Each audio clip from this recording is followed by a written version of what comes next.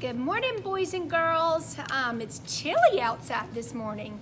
Um, this is the devotion for Wednesday, April 15th. Um, our Bible verse at the top of your um, assignment sheet says, Let the word of Christ dwell in you richly.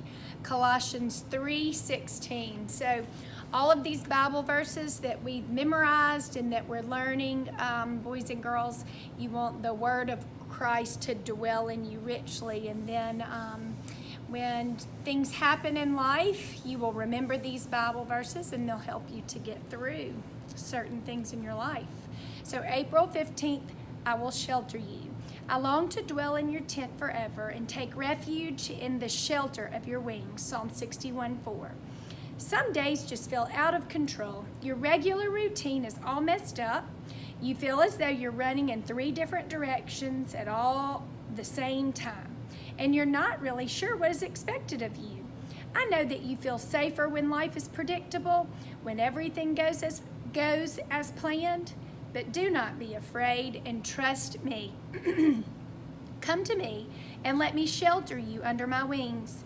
You are completely safe with me.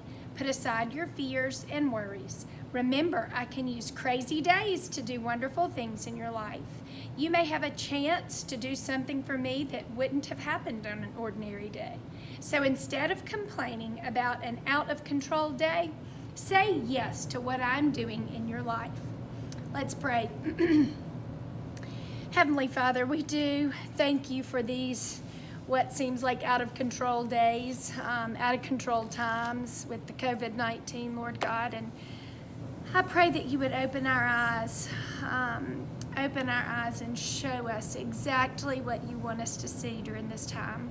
We thank you for the extra family time um, that we're getting to spend with our family. I pray that you would bless us and um, be with us. In Jesus' holy name we pray. Amen. So you will do your morning journal. Would you rather have a tail or wings? And tell me why. Then you can draw a picture. You can be um, draw a picture of you with the tail or you with wings.